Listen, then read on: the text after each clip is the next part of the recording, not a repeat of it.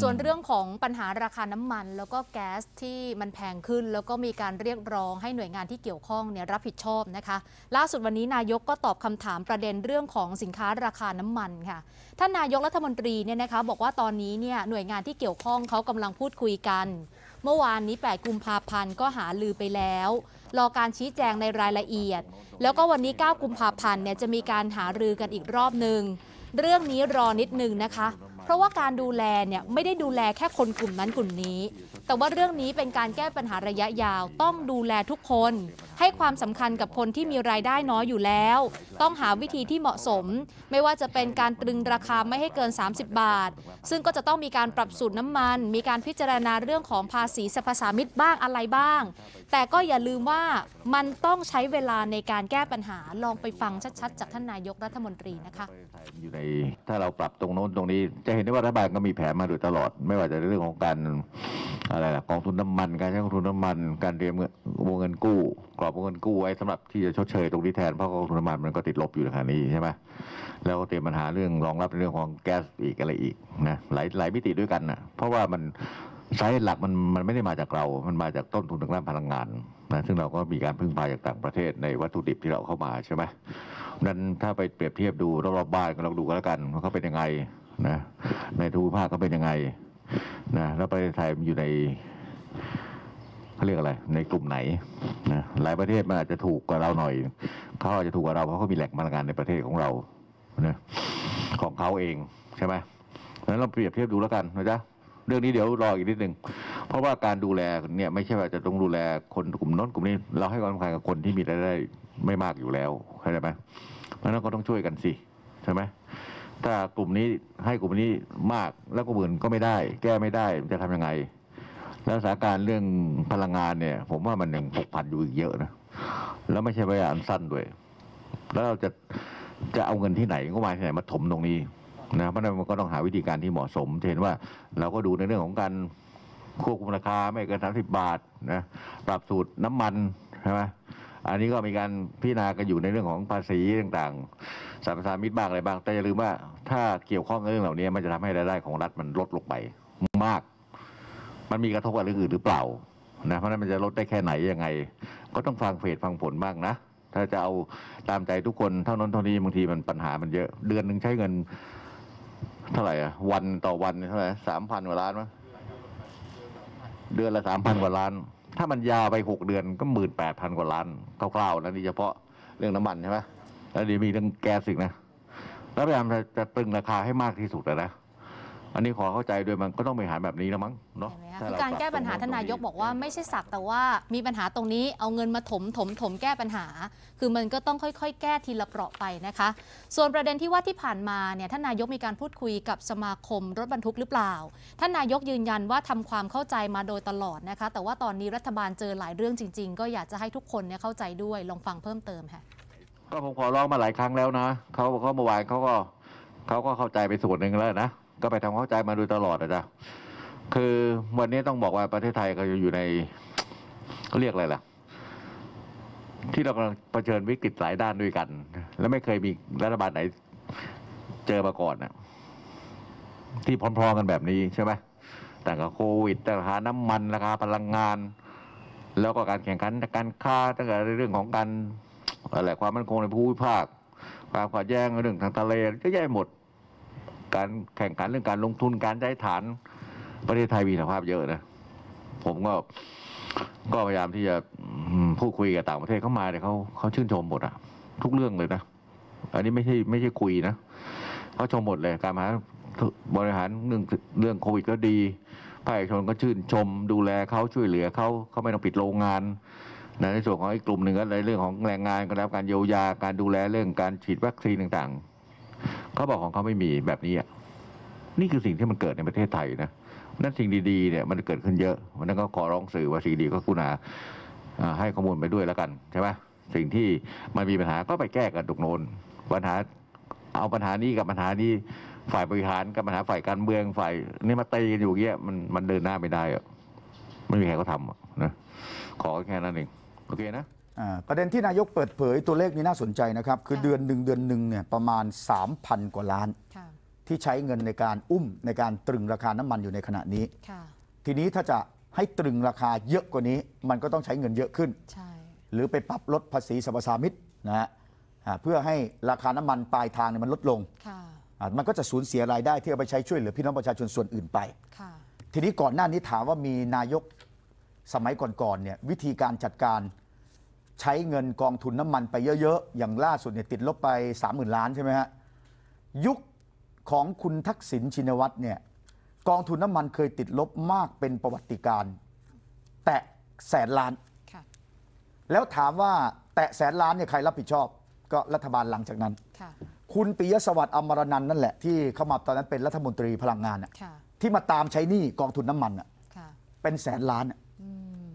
ถามว่านักการเมืองทำได้ไหมทำได้ ได้คะแนนนิยมด้วยค่ะแต่ปัญหาคือเหมือนเข้าไปอึอยู่ในส้วม แล้วปิดประตูเราออกมาแล้วปิดประตูไว้ ให้เพื่อนมาตามเช็ดล้างอ่าใครมาตามเช็ดล้าง เรื่องของมันไม่ใช่เราเราเสร็จธุระของเราแล้ว ได้รับคำแท้สองสรรเสริญไปแล้วค่ะแต่นั่นคือวิถีของนักการเมืองแบบที่ไม่รับผิดชอบไงค่ะประเด็นสำคัญคือราคาพลังงานในระดับโลกมันสูงขึ้นจริงไหมจริงจริงค่ะแล้วในขณะนี้มันมีส่วนที่ลดได้อีกไหมลดได้ ภาษีสรรพสามิตลดได้ แต่มันมีต้นทุนของการลด รายได้ก็หายไปค่ะแล้วหลังจากนั้นล่ะ ราคาน้ำมันมันขึ้นอีก เราจะมีหน้าตักอะไรเอามาพยุงทีนี้อืมนะซึ่งรอฟังล่าสุดทางพลังงานน่าจะมีการแถลงว่าจะมีมาตรการอะไรออกมาบ้างอะเดี๋ยวรอนะคะ แต่ว่าช่วงนี้ต้องขอบพระคุณล่ามภาษามือนะคะ ขอบพระคุณอาจารย์ไพรวันแสงสุนทรด้วยค่ะ ขอบพระคุณครับอาจารย์ครับ ขอบพระคุณค่ะอ่าแล้วก็พูดถึงเรื่องราคาพลังงานเนี่ยก็ถูกเอามาเล่นเป็นประเด็นการเมืองเรียบร้อยนะฮะ โดยเฉพาะการทวิตของคุณหญิงสุดารัตน์เกยุราพันธ์ค่ะคุณหญิงสุดารัตน์เนี่ยใช้วิธีก็คือไปเอาภาพในอินเทอร์เน็ตที่เขาตัดคำอย่างกรณีเนี้ยเป็นการตัดคำพูดของคุณสุพัฒนพงศ์รัฐมนตรีพลังงานมา ใครเดือดร้อนคือตัดคำมาสั้นๆอย่างเงี้ยค่ะใครเห็นใครก็ขึ้นปันหนึ่งว่ารัฐมนตรีพูดคำนี้สั้น ๆ แค่นี้น้ำมันน้ำมันแพง ใครเดือดร้อน ใครเดือดร้อนอะ คือพูดอย่างนี้มันคือการ เอ่อพูดแบบกวนตีนน่ะ อ่ามันหานึกออกไหม เรื่องค่ะ เป็นการเรียกทัวร์ใครเดือดร้อนอะใครเดือดร้อนเหมือนไม่รู้ร้อนรู้หนาว ค่ะ แต่จริง ๆ บริบทมันไม่ใช่ค่ะนะทีนี้คุณหญิงสุดารัตน์ก็โพสต์ตอบ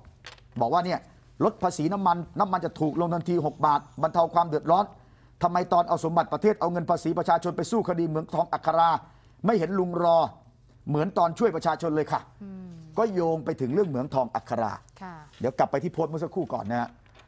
ซึ่งจริง ๆ แล้วมันคนละเรื่องกันเลย ค่ะ ไอ้สู้คดีเหมืองทองอัคราทำไมต้องไปสู้คดี เพราะมันถูกเอกชนเขาฟ้อง ค่ะ เพราะว่าทำไมถึงถูกฟ้อง เพราะใช้มาตรา 44 ในการพิจารณายังไม่ต่อประธานบัตร ไม่ได้ยัยกไม่ต่อเลิกใบนะอนุญาต อ่าไม่ใช่ยกเลิกสัมปทานนะ ค่ะ แล้วทำไมต้องทำอย่างนั้น ก็เพราะว่าประชาชนเดือดร้อนสะสมมาตั้งแต่ยุคก่อนหน้านั้น ถูกต้อง มันไม่มีรัฐบาลไหนมองเห็นหัวชาวบ้านไง อืม แล้วที่บอกว่าต้องซ้ำโดยไม่ต้องมาตรา44สิ แล้วมันอยู่มาทำไมทั้งหลายปีไม่เห็นมันทำได้ ค่ะ ถ้ามันทำได้โดยไม่ต้องมาตรา44นักการเมืองก่อนหน้านั้น มันอยู่มาตั้งหลายปีทำไมมันไม่ทำค่ะ แสดงว่ามันเจตนาที่จะไม่ช่วยชาวบ้านถ้าอย่างนั้น อืม ถ้ามันบอกว่าใช้กฎหมายปกติธรรมดาได้ ค่ะ นั่นคือเหตุผล หลังจากนั้นก็มีการออกกฎหมายแก้กฎหมายเหมืองแร่ใหม่ ค่ะ มีมาตรฐานใหม่ในการดูแลต่างๆนานา ค่ะ ส่วนเรื่องค่าโง่ก็ไปสู้กันนะแล้วใครจะเปิดเหมืองใหม่ก็มาขอตามมาตรฐานใหม่ ค่ะ นี่คือเรื่องเหมืองทองอัครา ทีนี้คุณหญิงสุดารัตน์ก็ไปโพสต์อีกอันหนึ่งเรื่องพลังงานนะแล้วก็เอาคำพูดที่ตัดมาอีกทีนี้ มีคนนี่ตัดคำพูดอ้างว่าเป็นคำพูดของพลเอกประยุทธ์ แล้วมีคนเดือดร้อนเยอะไหมเรื่องน้ำมันนี่เห็นไหมฮะนี่อันนี้อืมคุณหญิงสุดารัตน์ก็โจมตีว่าประชาชนเบิกค่าน้ำมันไม่ได้ต้องจ่ายเองทุกบาททุกสตางค์แต่ลุงใช้ทุกอย่างฟรีจากภาษีอย่างเงี้ยแล้วก็ด่าด่าด่าด่าค่ะเห็นไหมฮะแต่ไปตัดเอาคำพูดว่า แล้วมีคนเดือดร้อนเยอะไหมเรื่องน้ำมันเนี่ย คำพูดแบบนี้ประกอบภาพอย่างนี้ มันก็สื่อความหมายที่เสมือนหนึ่งว่า ไม่รู้ร้อนรู้หนาวไม่สนใจใยดีความเดือดร้อนอะไรเลย ใช่ แล้วจริง ๆ แล้วคืออะไร ในเพจซึ่งต้องพิสูจน์เขาได้มีการนำเสนอข้อมูลว่าจริง ๆ นายกพูดยังไง ค่ะ ประโยคที่นายกพูดจริง ๆ เนี่ยที่ถูกตัดมาแค่ แล้วมีคนเดือดร้อนเยอะไหมเนี่ยนะ เอ้าเดี๋ยวลองฟังชัด ๆ นะว่า เหตุการณ์ที่นายกพูดประโยคนี้ออกมาเนี่ยบริบทคำพูดเป็นยังไงฮะค่ะแล้วมีคนเดือดร้อนเยอะไหมเรื่องน้ำมันเนี่ยโดยเฉพาะรถบรรทุกเออรัฐบาลดูแลทุกกลุ่มไหมดูแลทุกกลุ่มไหมในเมื่อต้นทุนน้ำมันมันเป็นอย่างนี้รัฐบาลก็ใช้ทุกวิธีการในการที่จะเอ่อดูแลให้ราคาไม่สูงเกินเอ่อที่ทำให้เกิดความเดือดร้อนมาก รัฐบาลก็ต้องทำอย่างนี้เรามีงบประมาณมากน้อยเพียงไรอันที่หนึ่งอันที่สองกลไกต่างประเทศเป็นยังไงนะต้องเข้าใจไม่ใช่ว่าเดือดร้อนเฉพาะกลุ่มใดกลุ่มหนึ่งเดือดร้อนทุกกลุ่มนั่นแหละ